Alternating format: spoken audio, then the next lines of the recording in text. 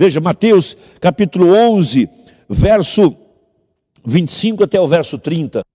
Naquele tempo, respondendo Jesus, disse: Graças te dou, ó Pai, Senhor do céu e da terra. Veja, ali estava agora o verbo. Veja, não se confunda, não é a segunda pessoa, é o mesmo eu sou, o mesmo Logos que escreveu a palavra. Veja, ele estava orando ao Espírito que estava dentro dele. Minhas palavras são Espírito e vida. O eu sou de Gênesis, aquele, aquela mesma luz que apareceu para Moisés, que escreveu o Velho Testamento, a mesma luz que apareceu para Saulo e que escreveu o Novo Testamento, essa mesma luz veio no tempo do fim para interpretar a palavra. Veja, graças te dou, Pai, Senhor dos céus e da terra, que ocultasse essas coisas aos sábios e entendidos e as revelastes aos pequeninos. Veja, esta é a Bíblia, isso não pode ser negado, isso tem que ser aceito. Veja, quem, quem, quem dá crédito, quem crerá na mensagem? Os eleitos. A semente eleita é a única que crerá na verdade da palavra. Jesus disse: Veja, que ocultastes. Então Deus esconde isso. Parece muito simples, parece uma coisa comum, parece que não tem muita atração, não tem muito que chamar a atenção. Por isso a mensagem não tem que ser melhorada.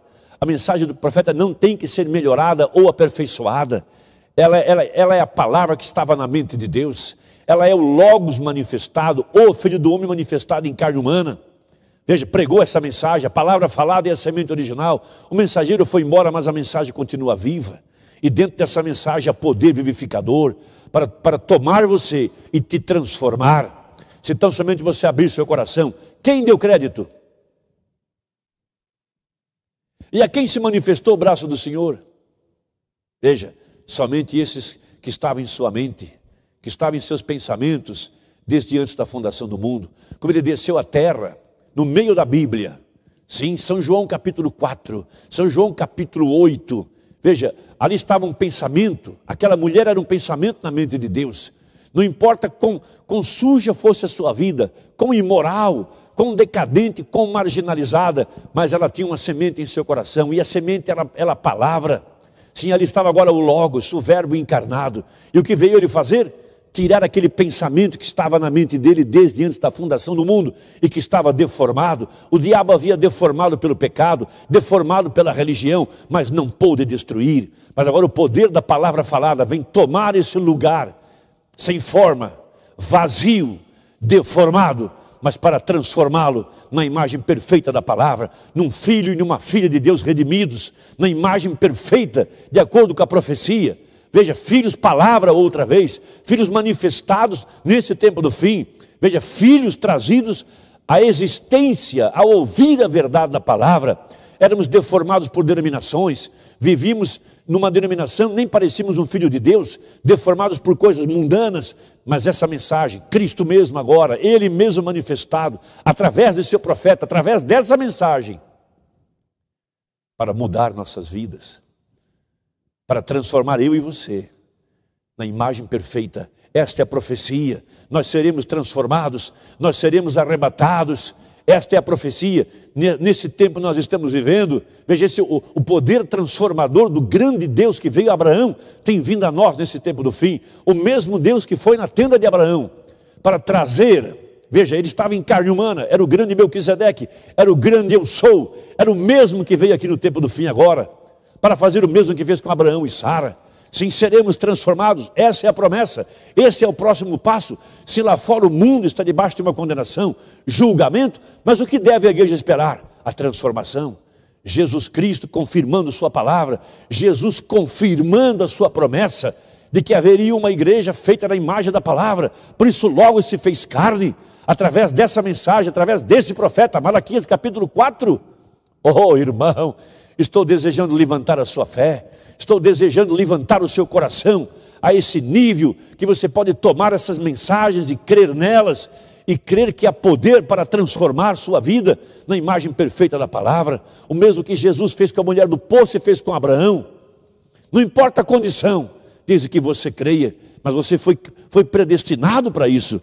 Veja, que ocultasse essas coisas aos sábios e entendidos e as revelasse aos pequeninos.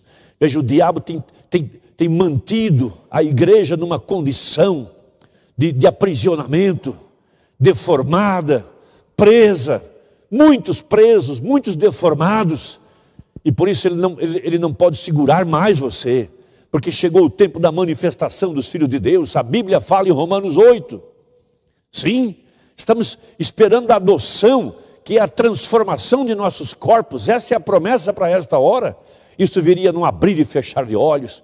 Veja, este é o tempo que nós estamos vivendo, esse é o tempo da pedra de coroa. Cristo, essa pedra com sete olhos, já tem descido.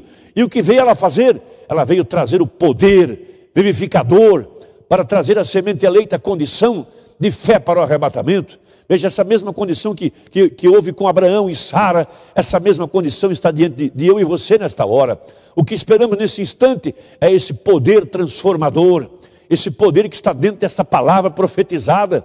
E o diabo não pode ter controle, ele não sabe o que será pregado. E quando é pregado, ele não pode alcançar essa luz. Por isso você, ele não pode te prender, ele não pode te manter por muito tempo. Por isso a hora tem chegado em que a verdadeira igreja está sendo manifestada pelo poder da revelação dessa mensagem poderosa pregada pelo, pelo anjo de Malaquias 4, essa abertura dos sete trovões, essas sete vozes misteriosas que estão dentro dessa mensagem, por trás dessa voz está a voz de Deus, está o, o Espírito em vida, sim, que transformou a terra em Gênesis 1, transformou a mulher do poço em São João capítulo 8, está agora te transformando, porque tem chegado a hora da promessa, tem chegado a hora da igreja sair de, de cena no arrebatamento, então haverá uma igreja sendo transformada por esse poder vivificador da ressurreição de Jesus Cristo.